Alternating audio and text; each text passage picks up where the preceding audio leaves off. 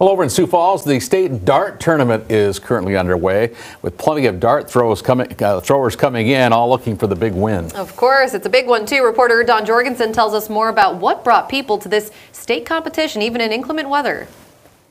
The competition goes back and forth at the Ramkota Exhibit Hall this week as dart player after dart player takes aim at hitting a bullseye. Carrie Chuka of Wagner is one of them. How good are you? Not very good.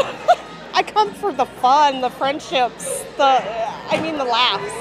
That's what it's all about. I, I yeah, it's nice to win, don't get me wrong, but it's just more important to have fun. She's got a point because there's plenty of that, along with 136 dartboards. The tournament director says that the weather's had very little impact on the turnout. That's because the dart throwers had their sights set on getting here early. In fact, there are over 3,200 players at this week's tournament.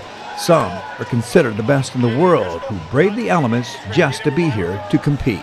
They got in here early to make sure, and I, we were at the front desk on uh, Monday night when they were people calling ahead trying to get in early so they could make sure they're here, and they weren't playing until Thursday. So, you know, the impact for this town is awesome that everybody's coming early just to be able to make sure they can participate in the tournament. Crystal Kubel of Winner was one of those early birds. Oh no, we came Monday. We were ready for this. She, like a lot of players, has been throwing for years.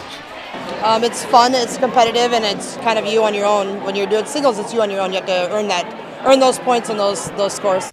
This tournament, the 501, is the largest tournament of its kind in the world.